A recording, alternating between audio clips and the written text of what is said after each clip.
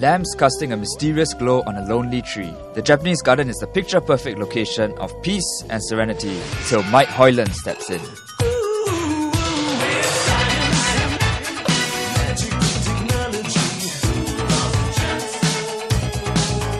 Enter Mike Hoyland and his madcap science experiments that's causing ripples in the middle of the Japanese garden.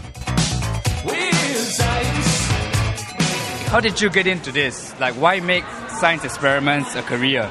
I find a lot of the things I do greater than me. I find messing about with molecules and atoms sort of very a very spiritual experience. And so it's wonderful to think that I have been made out of basic atoms and I'm so complicated. And that when I die, I will simply go back to nature, as they say. My carbon will be used by insects and by other creatures. That is perfectly satisfying to me. I think that's really lovely. But my motivation, my main motivation for doing it, is an enormous amount of work, is to turn people onto learning, not necessarily onto science but on to learning. Well, well. I know. We just had a large explosion. And what better place to impart his knowledge than at the Japanese garden, where thousands of people have turned up to catch the Leonid meteor shower. Stargazers were hoping to catch streams of light dancing across the sky because of the falling meteors. The phenomenon was expected to take place in the wee hours of the morning. So while they wait, Mike entertains them with his explosive performance. What's the inspiration behind these experiments? Well, the inspiration is is often what you uh, you want a theme, you want to show something. So then you look for the experiment to illustrate that. I've got some potassium iodide. Now the iodine is going to swap. It's going from the potassium, which is a metal, to the lead, which, as you know, is a metal. There we are. You see that? Probably the larger inspiration, they both go together, is how spectacular the thing is.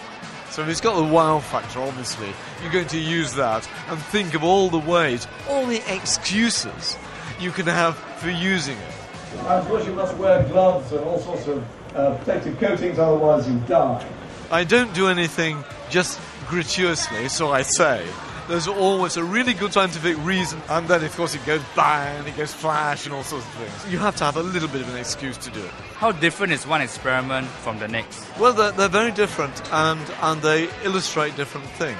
But the big difficulty I had when I started doing this sort of work was to know when to shut up, because there are so many things that you can use one experiment to illustrate and talk about. You've got to decide exactly what you're going to talk about and just keep it to that. 99% of the energy comes off as light. Now, light energy is electromagnetic energy. These experiments range from the dazzling to the downright dangerous. So, have you experienced any accidents while putting together these experiments? Not many, no. No, I'm very, very careful. And I still have five fingers and five toes and, you know, all my limbs, so it's not been too bad. Uh, some of the experiments on stage, they look pretty dangerous I've actually. had some, uh, some near misses, not on stage, though. Not in front of others. And that's a good thing. So audiences can catch more of his performance as the larger than life scientist will be performing on Thursday and over the weekend at the Science Center. Science.